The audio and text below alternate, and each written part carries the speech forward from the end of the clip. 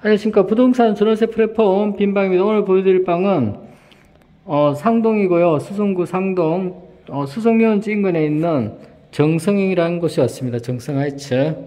네, 200에 26만원이고 아주 20만원대가 있다는 게 좀 신기할 정도로, 네, 가격적인 면에서 메리트가 있습니다.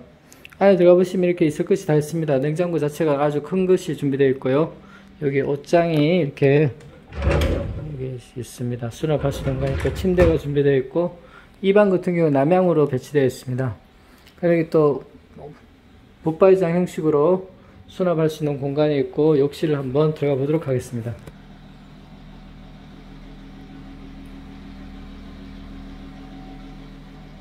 네, 욕실 쪽에서 방을 보면 이런 구조를 가지고 있습니다.